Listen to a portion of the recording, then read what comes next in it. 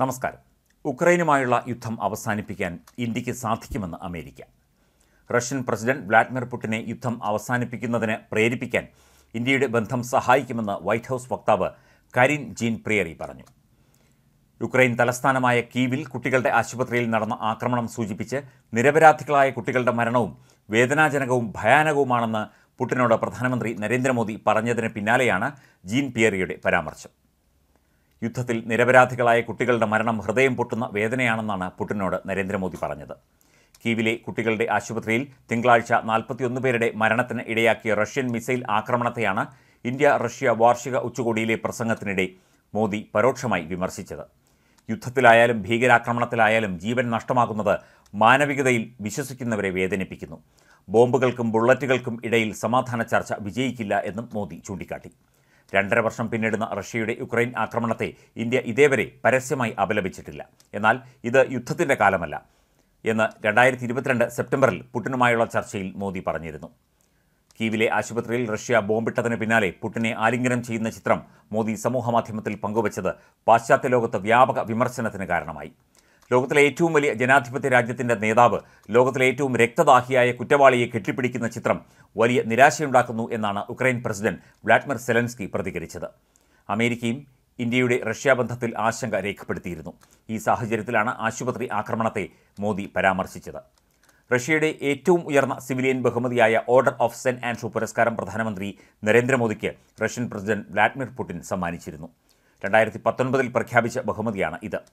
റഷ്യയുമായി നൂറ്റാണ്ടുകളോളം പഴക്കമുള്ള സൗഹൃദത്തിന്റെയും പരസ്പര വിശ്വാസത്തിന്റെയും അടയാളമാണ് തനിക്ക് ലഭിച്ച ബഹുമതിയെന്ന് മോദി പറഞ്ഞു.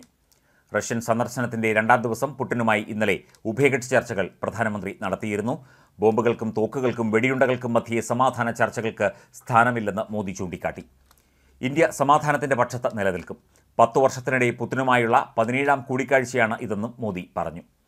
റഷ്യയുമായി നൂറ്റാണ്ട് പഴക്കമുള്ള സൗഹൃദത്തിന്റെയും പരസ്പര വിശ്വാസത്തിന്റെയും അടയാളമാണ് ഇത്. ഞങ്ങളുടെ സവിശേഷവും വിശേഷാധികാരവുമുള്ള പങ്കാളിത്തത്തിന്റെ ബഹുമതി.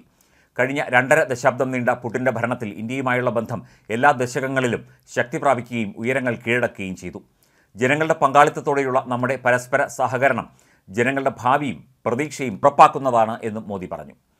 പരമോന്നത സിവിലിയൻ ബഹുമതി ഏറ്റുവാങ്ങിയ ശേഷമായിരുന്നു അദ്ദേഹം ഇക്കാര്യങ്ങൾ ചൂണ്ടിക്കാട്ടിയത്. റഷ്യയിലുണ്ടായ ഭീകരാക്രമണങ്ങളിൽ അതീവ ദുഃഖം രേഖപ്പെടുത്തിയ മോദി അതിന്റെ ആഴവും വ്യാപ്തിയും മനസ്സിലാകുമെന്നും നാൽപ്പത് വർഷമായി ഇന്ത്യ ഇതേ ദുരിതം അനുഭവിക്കുകയാണെന്നും പറഞ്ഞു. മോസ്കോയിലും രാജസ്ഥാനിലും നടന്ന ഭീകരാക്രമണത്തിന്റെ വേദന ഊഹിക്കാനാകുമെന്നും ക്രെംലിനിൽ പുടിനുമായി നടത്തിയ ഉഭയകക്ഷി ചർച്ചയിൽ മോദി പറഞ്ഞു. യുക്രൈൻ യുദ്ധം ആരംഭിച്ച ശേഷം ആദ്യമായിട്ടാണ് മോദി റഷ്യ സന്ദർശിക്കുന്നത്. നിഷ്കളങ്കരായ കുഞ്ഞുങ്ങൾ കൊല്ലപ്പെടുന്നത് ഹൃദയഭേദകമാണെന്നും പുട്ടിനോട് മോദി പറഞ്ഞു.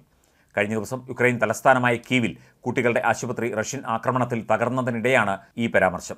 യുദ്ധമായാലും ഭീകരാക്രമണമായാലും മനുഷ്യരുടെ ജീവൻ നഷ്ടപ്പെടുന്നത് മാനവികതയിൽ വിശ്വസിക്കുന്ന ഓരോരുത്തർക്കും വേദനാജനകമാണ്. കുഞ്ഞുങ്ങൾ കൊല്ലപ്പെടുന്നത് അതിലേറെ ഹൃദയഭേദകം. ആ വേദന വളരെ വലുതാണ്. ഇതിനെക്കുറിച്ച് നാം മുൻപും ചർച്ച നടത്തിയിട്ടുണ്ടെന്നും മോദി പറഞ്ഞു. രണ്ടര വർഷം പിന്നിടുന്ന റഷ്യയുടെ യുക്രൈൻ ആക്രമണത്തെ ഇന്ത്യ അപലപിക്കാൻ തയ്യാറാകാത്തത് ലോക നേതാക്കൾക്കിടയിൽ വിമർശനത്തിന് കാരണമായിട്ടുണ്ട്. എന്നാൽ ഇത് യുദ്ധത്തിന്റെ കാലമല്ല എന്ന് രണ്ടായിരത്തി ഇരുപത്തിരണ്ട് സെപ്റ്റംബറിലാണ് പുടിനുമായുള്ള ചർച്ചയിൽ മോദി പറഞ്ഞത്